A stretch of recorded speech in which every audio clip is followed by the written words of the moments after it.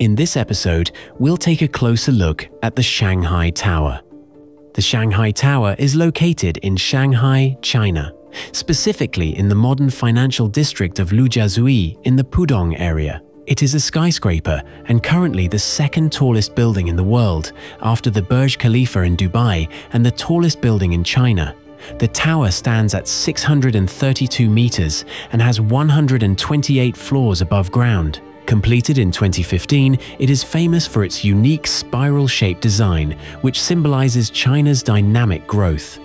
Inside, it houses offices, hotels, observation decks, and shops. It also features one of the world's fastest elevator systems, with lifts reaching speeds of more than 20 meters per second. Discover the greatest wonders of the ancient, the modern, and the natural world only on Monuments Channel.